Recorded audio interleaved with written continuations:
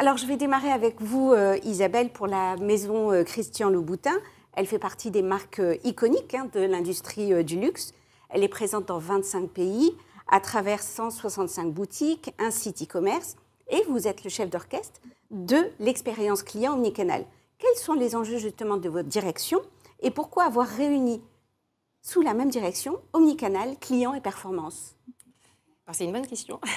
nos enjeux principaux, euh, comme beaucoup de maisons de luxe, ça a été de, faire vraiment un, changement de direction important en mettant le client vraiment au centre de nos stratégies, puisque euh, on a eu très longtemps et historiquement euh, dans le secteur tendance à placer le produit. Donc la, star dans, le luxe, c'était vraiment le produit et, bien évidemment tout ce qui a trait au produit, c'est-à-dire l'artisanat et, qui, qui, est quelque chose sur lequel on a, voilà, aucune maison n'a envie de, faire l'impasse.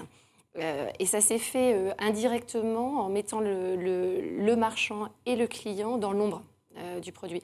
Donc ce, virage vraiment de, centricité client, c'est l'enjeu principal qu'on a opéré, nous, au sein de la maison Louboutin, il y a maintenant un peu plus de deux ans.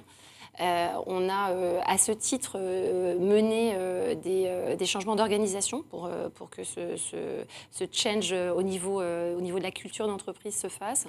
Euh, et euh, un département qui était un département euh, comme, comme, comme le mien, dédié au business au niveau central, a, changé complètement de titre pour être renommé donc, client, omnicanalité, client et performance. Donc ça, c'est vraiment un des, un premiers enjeux, c'est de faire cette obsession du client l'enjeu de, tous les collaborateurs. Euh, donc ça passe euh, par euh, une, force, une forme d'évangélisation qu'on a eu, pas forcément uniquement auprès de nos ambassadeurs, auprès des équipes du vente, mais aussi en interne pour, pour vraiment en, faire un objectif collectif.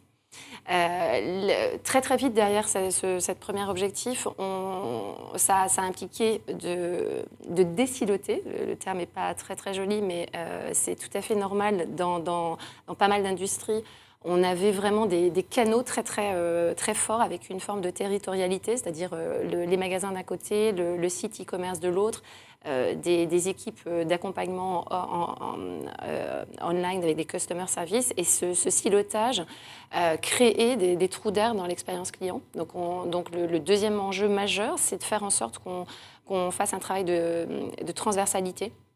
Donc ça passe énormément par de la synchronisation avec les équipes c'est l'enjeu majeur et je vais en parler peut-être, on, verra au fil de nos discussions, mais euh, avec aussi des outils, notamment quand, on parle d'omnicanalité, très vite derrière, on est obligé de mettre en place les outils qui permettent cette transversalité.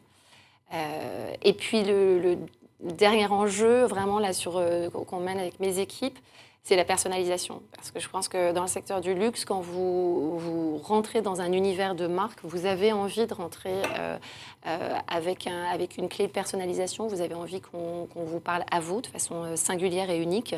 Euh, vous, avez, vous avez envie d'une relation aussi qui, euh, qui, transpire les valeurs de la maison, même si vous, en tant que client, vous ne les connaissez pas forcément, vous ne les avez pas conscientisées, il y a forcément une appétence au travers de, de l'acte d'achat qui doit se retranscrire dans l'expérience client.